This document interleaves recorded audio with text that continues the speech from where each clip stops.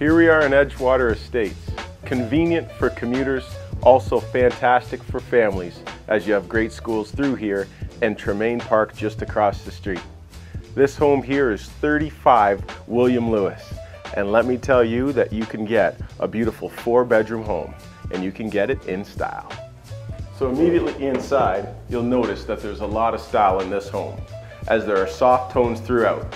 But in addition to just style, there's also a lot of space for you and friends and family to gather here in the dining room, just across from this already updated white kitchen with really cool high-end KitchenAid pewter appliance set, all topped in granite. Now that's style. Now there's one walkout here, more on that later. Oh yeah, and professional sound plumb inside and outside. Let's give a listen.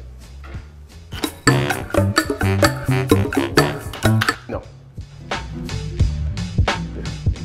So here we are in living space part one, this upper living room with vaulted ceiling detail walking out to the private rear balcony.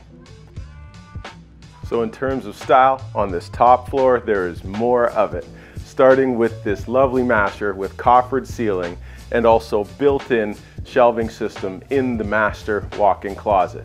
But there's also a really cool ensuite with sky-high vaulted ceiling and heated floors. So you'll be waking up in style. In addition to that, being across from this park is perfect as there are three other bedrooms, great for the kids and the family, plus also the pristine main bath. So when I talked about living spaces, there's a lot more. Working your way down to this floor, perfect family room that looks onto the kitchen with natural gas fireplace and huge large windows, but there's still more. That is downstairs.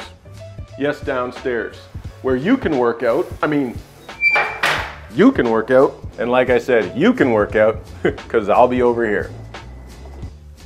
So now in terms of living, this backyard also offers some living space where you and your family will be living in style. Cheers. This is 35 William Lewis, and I'm Daryl Watty, Chestnut Park.